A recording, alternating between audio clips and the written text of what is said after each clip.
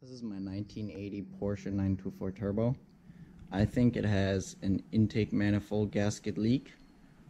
Um, the symptoms it is showing are very rough cold starts. In general, it is not running as smooth as it should, and also there's an audible boost leak at higher RPM. So today I'm going to con conduct a quick little test um, on whether or not it's the intake manifold gasket that is creating this problem. So in order to, test this, um, it's a very simple test.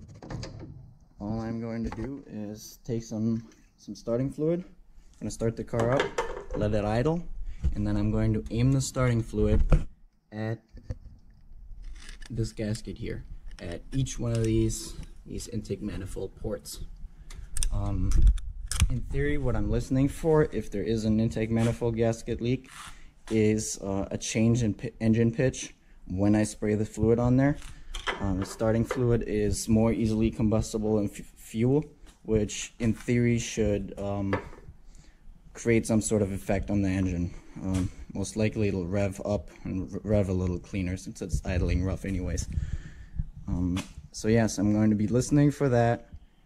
Uh, very simple test. Um, if there's no change in pitch, then most likely it's not going to be your intake manifold. Uh, this stuff evaporates very quickly and gets through through the crevices if there are any. Um, yes. So let's give this a go.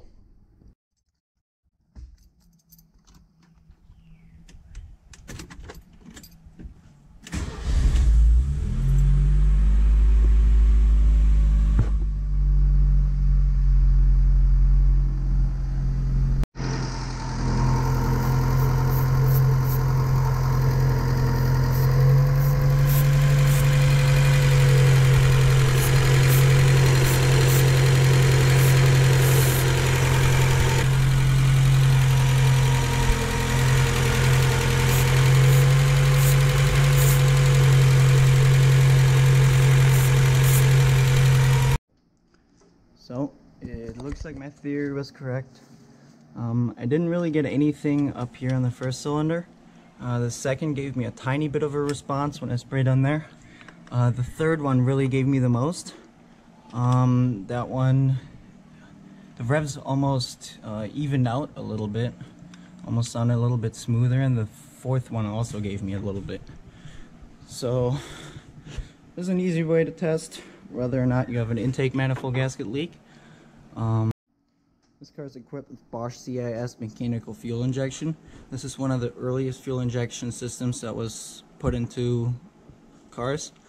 Um, this is very common in many Audis, Porsches, and and other European cars, mostly of the VW group. The way it works is the pressure of the exhaust gas spins the turbine wheel, which in turn spins the compressor wheel.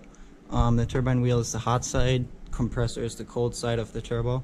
Uh, this fuel injection system, uh, this Bosch CIS, sits in front of the uh, intake side of the turbo, meaning on the cold air side. Um, this is the airbox, and this is the little rubber boot that connects them.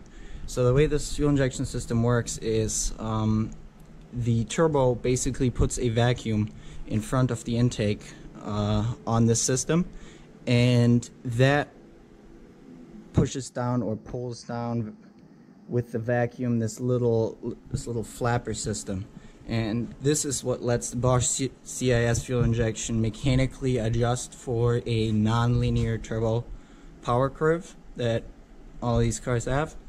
Um, the the problems that arise from something not being correct in the system is, um, as previously mentioned, uh, cold starts, the general how the car runs, and um, especially with this intake manifold leak, uh, the turbo puts a certain pressure into the intake manifold, into this this tube that comes up here, um, and basically it has already adjusted for the amount of pressure with fuel, meaning the high pressure fuel pumps and the high pressure injectors are already putting that depicted amount of fuel in the engine. But now with this boost leak, um, we're seeing less less air than than what the fuel is regulated for. So basically, we have a completely screwed up air to fuel ratio, which causes these cars to run so incredibly crappy when they're when something's not right. But when everything is correct, everything works great and there's no issues. Um, yes.